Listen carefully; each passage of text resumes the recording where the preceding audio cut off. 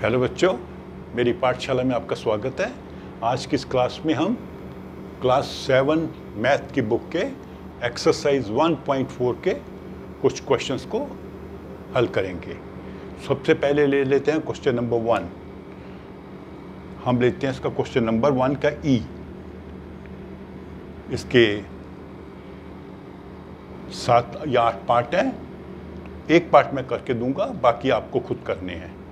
तो इसमें कह रहा है three divided by minus two plus one तो अभी डिवाइड करने से पहले हमें जो ब्रैकेट के अंदर जो सम है, उसको सॉल्व करना होगा, उसके बाद हम डिवाइड करेंगे। तो थर्टीन डिवाइडेड बाई अब ये माइनस टू में प्लस वन करना है हमने। तो टू में से वन घटाया वन, और साइन कौन सा होगा? नेगेटिव, क्योंकि ये बड़ा है। Minus one.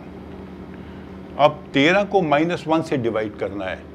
तो जब मैंने बताया था आपको कि जब हम डिवाइड करते हैं नेगेटिव नंबर से तो आंसर हमेशा नेगेटिव होता है। और तेरह को जब वन से डिवाइड करते हैं, आंसर थर्टीन। तो इसका आंसर हो जाएगा माइनस थर्टीन। ओके अभी हम करते हैं इसके बाद में question number two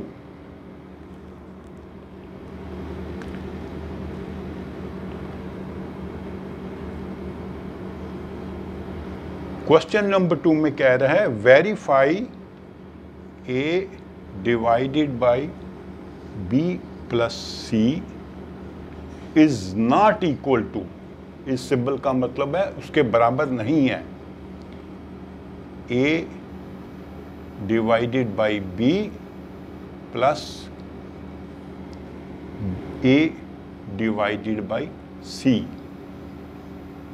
और इसके पार्ट ए में क्वेश्चन नंबर टू के पार्ट ए में, जो फ़र्स्ट पार्ट है, उसमें ए की वैल्यू है बारह बी की वैल्यू है माइनस चार और सी की वैल्यू है दो।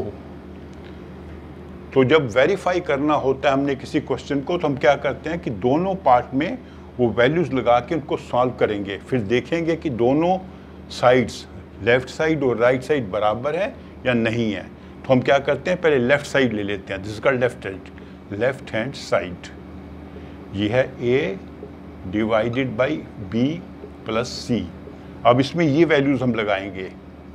ए है बारह, इसको डिवाइड करना है हमने माइनस बारह प्लस टू से। तो पहले हम इसको सॉल्व करेंगे माइनस बारह में से दो गट दो जमा करना है तो हो जाएगा answer minus ten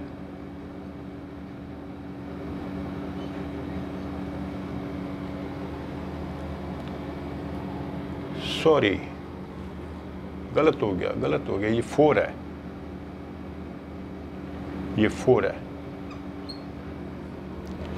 B is minus four A is twelve C is two तो माइनस फोर को जब टू से डिवाइड करेंगे तो आंसर हो जाएगा माइनस टू और जब बारह को दो से डिवाइड करेंगे आंसर होगा छ और चूँकि ये डिवीजर माइनस है तो आंसर होगा माइनस तो ये लेफ़्ट हैंड साइड का आंसर है माइनस सिक्स तो अभी हम राइट हैंड साइड निकाल लेते हैं, उसको यहाँ पे कर लेते हैं। A divided by B plus A divided by C तो ए की वैल्यू है बारह, उसको डिवाइड किया हमने माइनस चार से, इसको प्लस करेंगे ए बारह डिवाइडेड बाई टू तो बारह को जब चार से डिवाइड किया तो आंसर आएगा माइनस थ्री क्योंकि जिससे हम डिवाइड कर रहे हैं, वो माइनस है। प्लस बारह को दो से डिवाइड किया आंसर छः माइनस छः माइनस तीन और छः को ऐड करेंगे आंसर आ जाएगा तीन। तो लेफ़्ट साइड का आंसर है छ और राइट हैंड साइड का आंसर है तीन। तो मतलब ये दोनों बराबर नहीं हैं। So therefore this side is not equal to this side statement verified ये हमने इस क्वेश्चन में करना था स्टेटमेंट को वेरीफाई करना था कि क्या ये इसके बराबर है कि नहीं है। तो वैल्यूज़ लगा के, ये जो वैल्यूज़ क्वेश्चन में दी हुई हैं, हमने दोनों साइड को सॉल्व किया। इसका आंसर निकला माइनस सिक्स माइनस सिक्स और इसका निकला थ्री दोनों इक्वल नहीं है so this is true this statement is true तो ये आपका क्वेश्चन टू ए हो गया। अभी एक और क्वेश्चन कर लेते हैं, ताकि आपको अच्छे से समझ आ जाए कि डिवीज़न कैसे करते हैं। हम करते हैं question number four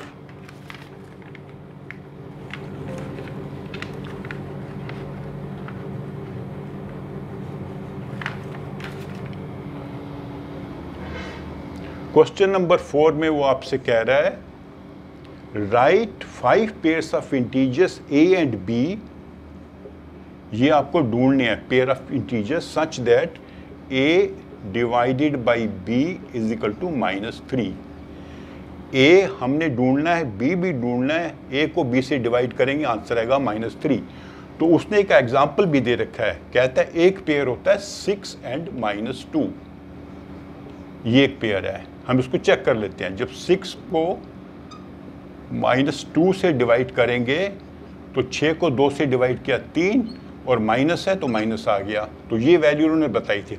अब हमें ऐसे कुछ पेयर ढूँढने हैं।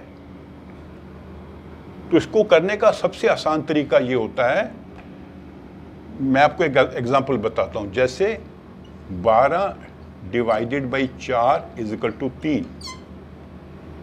तो 12 डिवाइडेड बाई तीन इज़ इक्वल टू चार।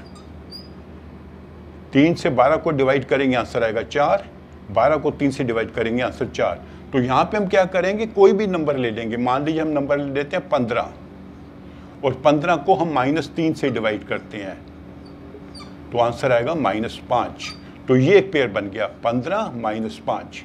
क्योंकि हमने ए को माइनस तीन से डिवाइड करके देखा। हमने इसकी वैल्यू पंद्रह रखी तो माइनस पाँच। तो एक पेयर बन गया पंद्रह और माइनस पाँच। तो ये तीन के टेबल, के, तीन का टेबल से आप कोई भी वैल्यू ले सकते हो। अट्ठारह डिवाइडेड बाई माइनस तीन तो आंसर आएगा माइनस सिक्स तो ये दूसरा पेयर बन जाएगा। अट्ठारह और माइनस सिक्स तो ऐसे ही बाकी पेयर्स भी आप बना सकते हैं। इन्होंने पाँच पेयर ढूँढने के लिए कहा है, मैंने आपको दो पेयर बना के दिखा दिए तो बाकी पेयर आप खुद ट्राई करिए। ठीक है? तो इस तरह हमने इस एक्सरसाइज के तीन चार क्वेश्चन सॉल्व किए हैं। तो बेसिकली आपको फिर से मैं याद करा देता हूँ कि मल्टीप्लिकेशन और डिवीज़न में एक इन्वर्स रिलेशनशिप होता है। जैसे two into three is equal to six तो सिक्स को अगर हम थ्री से डिवाइड करेंगे तो आंसर आएगा टू ये वाला आंसर सिक्स को हम टू से डिवाइड करेंगे तो आंसर आएगा थ्री तो इस चीज़ को आप यूज़ कर सकते हैं ऐसे डिवीज़न के क्वेश्चन सॉल्व करने के लिए, जहाँ पे आपको कोई मिसिंग नंबर ढूंढना है। ठीक है? जैसे मैं बोलूँ 75 को आपने माइनस सेवेंटी फाइव को आपने डिवाइड करना है किसी नंबर से आंसर आना चाहिए पाँच। तो आप क्या करोगे? 75 को 5 से डिवाइड कीजिए। तो हो जाएगा 15 अब ये माइनस है, ये प्लस है तो मतलब ये भी माइनस होना चाहिए। दोनों माइनस होंगे, तभी आंसर जो है प्लस में आएगा। तो हमने कैसे ढूंढा? पंद्रह को सेवेंटी फाइव को पाँच से डिवाइड कर दिया, आंसर पंद्रह आ गया। तो ये इस एक्सरसाइज के हमने किए फ़र्स्ट फोर्थ क्वेश्चंस। तो बाकी जो क्वेश्चंस है, वो मैं अलग वीडियो में करके आपको समझाऊँगा। तो अगर आपको ये वीडियो अच्छी लगी है, इसे लाइक कीजिए अपने फ्रेंड्स के साथ शेयर कीजिए और मेरे चैनल को सब्सक्राइब कीजिए। Thank you